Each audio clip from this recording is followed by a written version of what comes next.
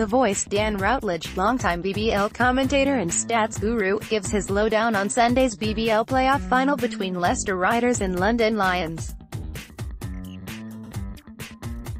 If you are not at the O2 this Sunday then make sure you are tuned in live ways to watch here.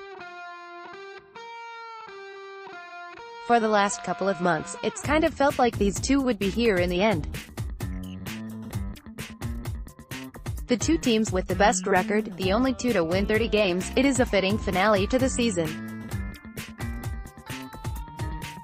Since Vince Macaulay took over they have been, by some distance, the two teams with the most wins. Riders have been 24-4, Lions the 1st of June 20, the best of the rest in the league is down at 14 or 13 wins. I guess Leicester may probably be narrowly the bookies' favourites, they seem to have found a way to win no matter what this season, but there is something about this London team and the way they have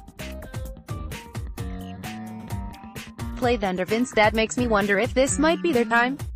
They started the year celebrating at the O2, there would be a certain symmetry to ending it there with a win as well. They've played six times already and are 3-3, so this is basically a Game 7.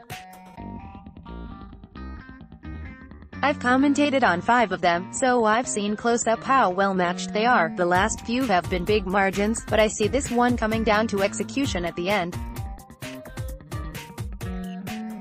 It's the two best defensive teams going head-to-head -head and I think that's what it will come down to, who can get the vital stop in the closing moments. I honestly don't see this being anything but a very close game. You can follow at Dan underscore Routledge on Twitter for more BBL insight and stats.